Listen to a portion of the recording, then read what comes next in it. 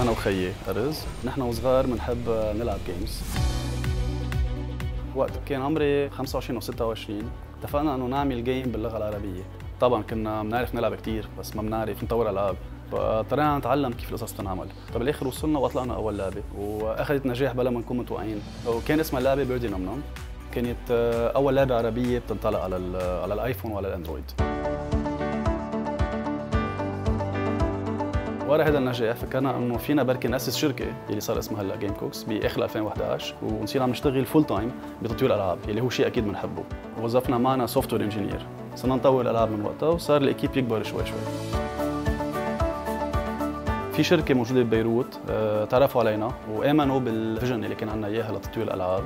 وساعدونا ماديا ومعنويا وأعطونا ال support اللازم كرمال ناسس شركه وكرمال نبلش نكبر. كنا عم نعمل ألعاب زيادة وكل لعبة عم نعملها كانت عم بتكون fine tuned أكثر من اللي قبلها. طبعا مع الخبرة اللي أخذناها. اليوم نحن عندنا 15 لعبة على ال store. بيختلفوا في منهم اكشن في منهم بازل في منهم تثقيفية في منهم آه، ترفيهية. بذات الوقت وسعنا ب domaine ثاني كمان خصو بال gaming وظفنا كمان عالم زياده تنشتغل واليوم عندنا خمس بلاد نشتغل فيها برات لبنان. من تقريبا سنة ونص بلشنا نعمل ألعاب بس لل virtual reality اللي هي الواقع الافتراضي. العالم بتغرق بقلب اللعبة بصير تحركاتها ال physical كأنها هي بقلب اللعبة. أخذتنا وقت كثير صغير تعلمنا كيف تنعمل ومن وقتها صرنا مركزين بس على ال virtual reality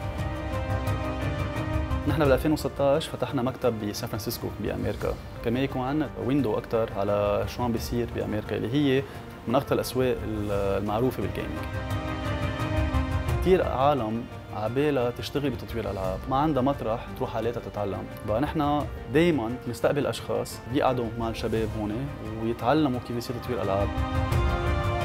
نحن بلشنا كنا شخصين اليوم صرنا فوق ال 40 شخص بالشركة. اليوم بشوف Game Cooks عم تتبنى حالة تكنولوجيا جديدة عم تنزل يلي هي حلوة لل gamer